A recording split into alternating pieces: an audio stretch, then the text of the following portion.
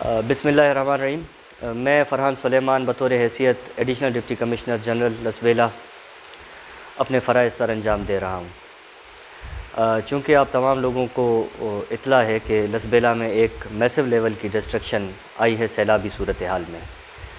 25 तारीख के बाद से आज तक बेशुमार घर ज़मीन बोस हुए हैं, बंदार टूटे हैं, रोड्स डैमेज हुए हैं, जिसकी वजह से लोगों को काफ़ी मुश्किल का सामना है।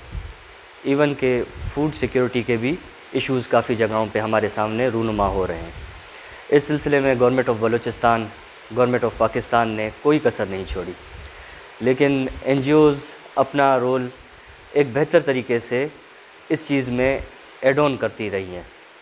मैं तमाम एन को इस फोरम के थ्रू एक पैगाम देता हूँ कि आप लोग जो भी हैं वो एक बार ज़िले इंतज़ामिया को लूप में लें।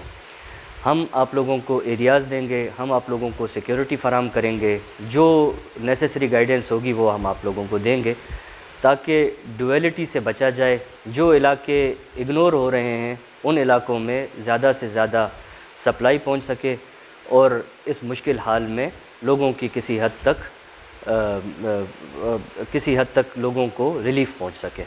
शुक्रिया।